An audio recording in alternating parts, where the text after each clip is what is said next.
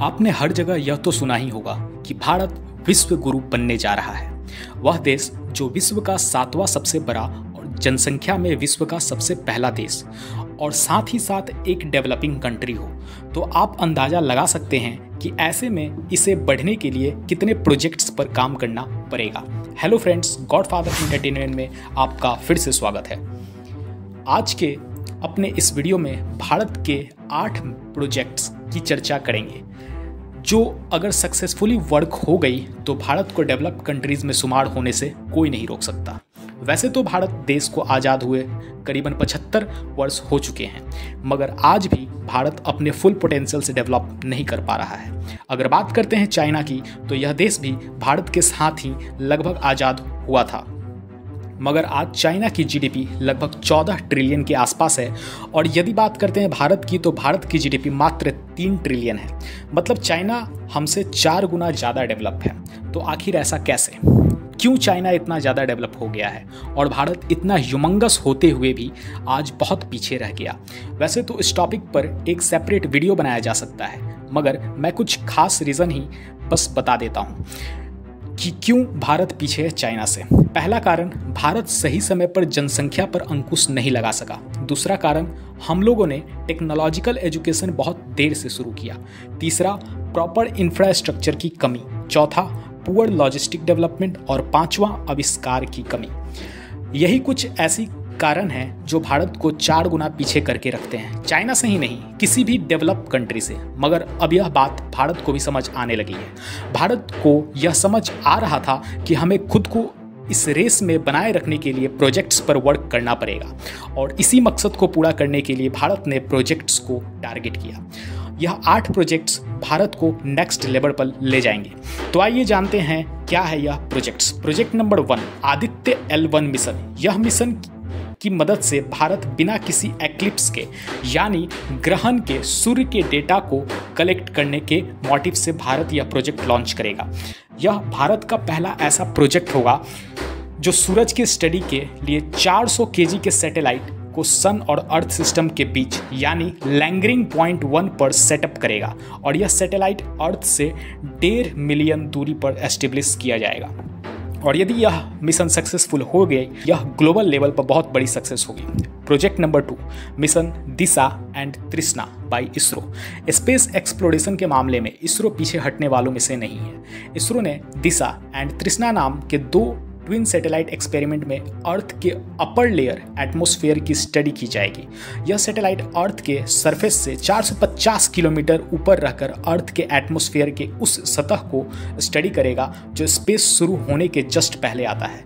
इसके अलावा तृष्णा नामक प्रोजेक्ट फ्रांस के सीएनईएस के साथ ज्वाइंट मिशन होगा, जो अर्थ के एक्यूरेट मैपिंग करेगा। और यह मैपिंग अंत यह मैपिंग अब तक की सबसे सटीक और एक्यूरेट मैपिंग मानी जाएगी। Project number three Bharatmala project Bharatmala project national highway development project का अपडेटेड वर्जन है। इस प्रोजेक्ट के अंडर में गवर्नमेंट करीबन पचास हज़ार किलोमीटर लंबी एक्सप्रेसवे बनाने का लक्ष्य रखती है। इससे इकोनॉमिक कॉरिडोर बॉर्डर एरिया और रिमोट एरियाज़ को कनेक्टिविटी मिलेगी, जिससे कार्गो के मूवमेंट में तेज़ी आएगी और एक्सपोर्ट बूस्ट हो सकेगा।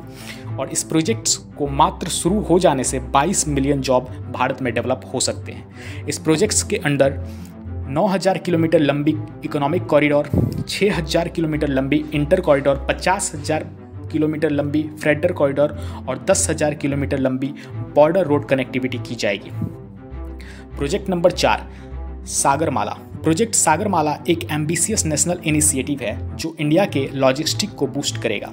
इस प्रोजेक्ट में इंडिया के कोस्ट लाइन और वाटरवेज के पूरे पोटेंशियल को अनलॉक करने का एम रखा गया है।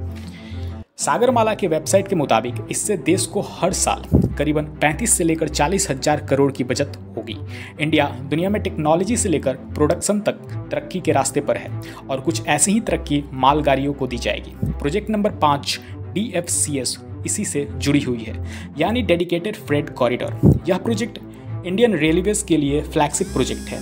फ़िलहाल इसकी दो शाखाएँ बनाई जा रही हैं। एक है पूर्व की ओर और, और दूसरा पश्चिम की ओर। इससे फ़ायदा यह होगा कि जो मालगाड़ी लाइंस पर चलती हैं उसे फ्रेड पर शिफ्ट किया जाएगा और जिससे कि पैसेंजर ट्रेन तेज़ी से चल पाएगी और ज़्यादा लोड की कैपेसिटी भी बढ़ सकेगा मालगाड़ियों की। Project number six Mumbai Ahmedabad bullet train. Mumbai Ahmedabad bullet train projects काफ़ी अड़चनों से होकर गुजरा है। और इन्वायरमेंटल इशू आज भी इसके पेस को धीमा करके रखा है। इंडिया में पहली बुलेट ट्रेन मिलेगी। यह मुंबई के थाने से गुजरेगी और क्योंकि यह इलाका फ्लैमिंगो सेंचुरी है, इसीलिए rail tracks under sea tunnel से होकर पास होगी। इस तरह भारत को पहला अंडर वाटर टनल भी मिलेगा। कहा जाता है कि यह प्रोजेक्ट करीबन 2026 तक पूरा हो जाएगा। प्रोजेक्ट नंबर सात नेविक इंडियन टेरिटरी में aerial and marine navigation disaster management tracking vehicles for travellers के एप्लीकेशन के साथ इसरो ने नेविक सैटेलाइट बनाया है। यह एक इंडिपेंडेंट रीजन नेविगेशन सैटेलाइट है, जो एक तरह से इंडिया का खुद का नेविगेशन सिस्टम है। प्रोजेक्ट नंबर सात 5GI दोस्तों 5GI एक तरह से 5G का मेड इन इंडिया वर्जन है, जिसे आईआईटी हैदराबाद और आईआईटी मद्रास ने ज्वाइंटली डेवलप किया है और इसे इंटरनेशनल कम्युनिकेशन यूनियन का अप्रूवल भी मिल गया है। इसका मतलब यह ग्लोबली यूज़ हो सकता है। 5GI 5G से थोड़ा अलग है। 5GI लोअर फ्रीक्वेंसी पर भी ज़्यादा रेंज प्रोवाइड करेगा और यह 5G से कम प्राइस का भी होगा और यह 5G की कनेक्टिविटी रूरल एरिया में पहुँचाने में मदद करेगा। Project number eight, mission Gaganyaan. Mission Gaganyaan ISRO के सपनों में से एक है। आज तक ह्यूमंस को स्पेस में भेजने का काम केवल तीन देश ने कर पाए हैं, यूएसए, रसिया और चाइना। लेकिन अब इसरो द्वारा इंडिया दुनिया का चौथा ऐसा देश बनने जा रहा है, जो भारतीयों को अंतरिक्ष में भेजेगा।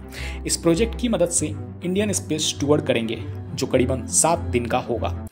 तो यह थे भारत के वो आठ मल्टी डायमेंशनल मेगा प्रोजेक्ट जो भारत को एक नई और डेवलप्ड कंट्री बनने में मदद करेगा। तो आज के लिए इतना ही। वीडियो पसंद आया हो तो चैनल को सब्सक्राइब करें। मिलते हैं नेक्स्ट वीडियो में। Thank you.